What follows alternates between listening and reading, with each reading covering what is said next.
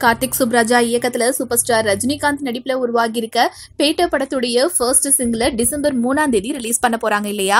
So இப்போ என்ன பாடல் ரிலீஸ் பண்ண போறாங்க அப்படின்ற தகவல்களை அபிஷியலாவே ரிலீஸ் பண்ணிருக்காங்க இந்த படத்தை தயாரிக்கக்கூடிய சன் பிக்சர்ஸ் பொங்கலுக்கு ரிலீஸ் ஆக போற இந்த பேட்ட படத்துடைய பாடல்களை நாம இந்த வீக்கே கேட்க போறோம். அனிருத்தோட மியூசிக்ல ரஜினியோட ஆக்டிங்ல ஒரு செம்ம மாசான ஒரு சாங்கை தான் கேட்க போறோம். எல்லாரும் பயங்கர ஆவலா இருந்துட்டு இருக்கும் போது இப்ப இந்த ஃபர்ஸ்ட் சாங்கோடைய டைட்டில் என்ன அப்படின்றத அனௌன்ஸ் பண்ணியிருக்காங்க மரண மாஸ் அப்படின்றது தான் இந்த பாடலுடைய டைட்டில் அப்படின்றத சொல்லியிருக்காங்க அண்ட் இந்த போஸ்டர் இவங்க ஸ்பெஷலாகவும் ஒரு போஸ்டர் ரிலீஸ் பண்ணியிருக்காங்க இந்த போஸ்டர்ல ரஜினி அவர்கள் பயங்கர ஸ்டைலான ஒரு போஸ்ட்ல நிக்கிறாங்க.